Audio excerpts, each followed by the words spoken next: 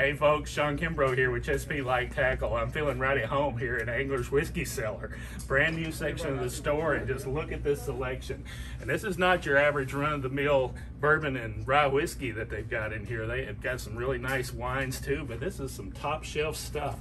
Uh, and uh, if you know me, you know that uh, you know I like my whiskey, and you know we're really fortunate here in the Chesapeake region. We live in a really unique area. Most of us live here because uh, the economic opportunities. We work hard, but we also play hard. We fish hard and we hunt hard.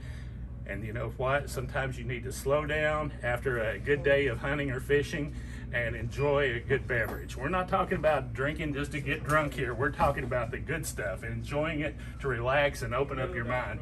And I wanted to show you a few of my favorites that they've got here in the whiskey cellar. And we'll start with this good old Jack Daniels. You know, I'm a Tennessee boy, born and raised, and uh, lived up here for about 15 years now. But I like my old number seven, uh, and uh, and have been to the distillery several times. But they so they've got the basics here. But look at this. Try to find this somewhere right now. You won't find it hardly anywhere, but they've got it here in the Angler's Whiskey Cellar.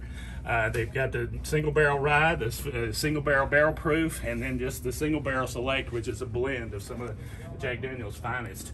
Uh, good Tennessee whiskey, and if you know Jack Daniel's, got that peanut buttery bubblegum uh, aftertaste to it that just just makes me feel right at home. Here's another one of my favorites the Hughes Belle of Bedford. Now, I'm a rye whiskey drinker, but sometimes I'll switch over and drink bourbon. Uh, this is also one of my favorite ryes. Uh, Hughes also makes a bourbon, I believe, and it's it's also really good. Check that one out. I think you'll probably like it. Sometimes they have a single barrel in here as well. Uh, Woodford Reserve, a good basic whiskey that's good. I mean, they've got some single barrels too, but it's also great for mixing.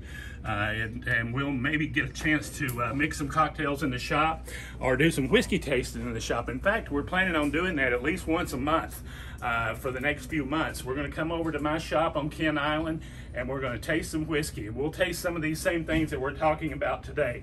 Let me show you another one. Uh, let me see what I can find here. Oh, I wanted to show you this real inexpensive bottle of whiskey. It's like $25 a bottle. It's delicious. If you go to some of the finest bars in Washington, D.C. or Baltimore and order an old fashioned, that's probably what they're going to be making it with because it's such a good um, whiskey, such a, good whiskey or, and rye. And also, I like this Wilderness Trail rye. Another good Kentucky rye whiskey, hard to find. They've got it here in the Angler's Whiskey Cellar. So that's another good one to try. So I hope you'll stop by and check it out. Check out the grand opening that's coming up, and uh, you won't be uh, you won't be disappointed.